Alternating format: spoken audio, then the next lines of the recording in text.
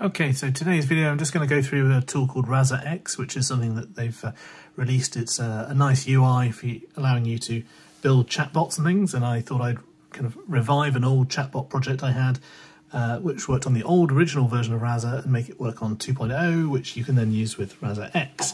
So um, uh, the chatbot I had was basically just a very simple um, concept. It basically had a big table of facts about the royal family in the UK, so basically about each king or queen of England in one big table, and it knew things like you know which house they come from, when they were born, when they died, when their reign started and ended, description of them, famous battles and things like that, uh, even notable events. So from that table, the chatbot then derives everything it it um, uh, can to respond to questions that people will ask it. So it's it's been trained to do a bunch of uh, certain types of questions. So um, it's Rasa X is quite cool. It's got this sort of nice um, graphical interface. It's web based, so you've got all things that you can explore for your um, the, the inputs for your your system. So you can look at the look at all the the, the intents and the sort of um, other details you've set up. Uh, you can look at your natural language understanding training data, which you've um, got lots of uh, examples I've put in there. And you can look at the responses. You can look at things called stories, which are basically just um, where they uh, um, how it responds to different situations and um, you know, which which uh, intents lead to which actions. So um, yeah, so it's it's quite cool. And um, basically, the the interesting thing I managed to do then is to to revive the chatbot, um, make it a bit more modern, um, so it works for the latest version, as I say. And then I've integrated it with something that I built. I understood a negative response. Oh, that's that's the speech thing. It's given the game away.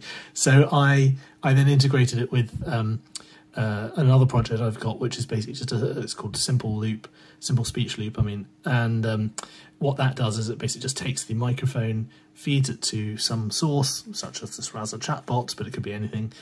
Then gets the response and then speaks that back. So so it's using speech recognition to understand what the microphone has said and then um, uh, feeds it to the bot, and then you get the speech response back. So so here's here's the demo of it, and um, so I've got the microphone which I'll sort of set up on the desk as well.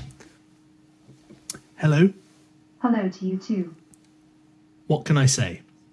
I understand a handful of simple concepts related to the monarchy in the UK. There are various ways to select a particular ruler, such as the number, for example, VI, six or sixth or by a value, for example, William Rufus. Then you can pick out specific information such as date of birth, end of reign, famous battles, house, for example, of Tudor. Then the VML magic happens. I try to understand what you've said and then look up detail based on entities recognized in a database. Have a go. Or try give me an example if you're really not sure the. Give me an example. How about this? Who was king after Richard the Lionheart? Who was king after Richard the Lionheart? John the First. When was he born? He was born on the 24th of December 1166. Show me a picture of him. A picture of John the First. Bring view. Show me a picture of Elizabeth I. A picture of Elizabeth I. Which kings were from the House of York? Edward IV, Edward IV, Edward V, Richard III. Which kings were in the 17th century?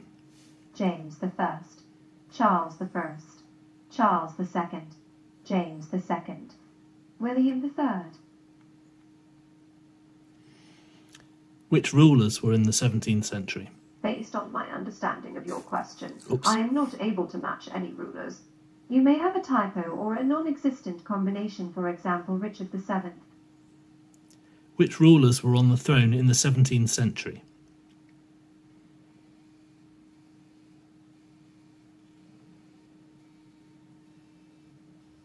Elizabeth I, James the First. So you see the difference Charles there. the First. It's including the, Charles the Second. the queens. James the Second. William the Third. Mary the Second. What are some events from the life of George III? 1764. James Hargreaves invents the spinning jenny. 1765. James Watt invents the improved steam engine utilizing a separate condenser. 1798. Edward Jenner develops the first successful vaccine. The smallpox vaccine. Who was the first king from the House of York?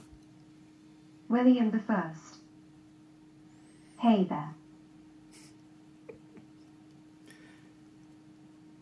Who was on the throne in 1492? Henry the Seventh. How did he die? He died on the 21st of April 1509. What were the circumstances of his death? He died with the peaceful transfer of rule following his death in 1509. So yeah, so basically that, that's it. I mean, there's a whole series of different styles of questions, but it's effectively taking the question and turning into a query, which it runs against this table, and then spits the output out. So that's it. It's uh, uh, it's surprisingly easy to hook these things up together. And uh, yeah, if you're interested, have a look at RasaX. Just Google it, and um, they've got a great forum. And uh, yeah, it's it's uh, it's worth a look. I'll be posting more about this chatbot shortly. So okay, thanks.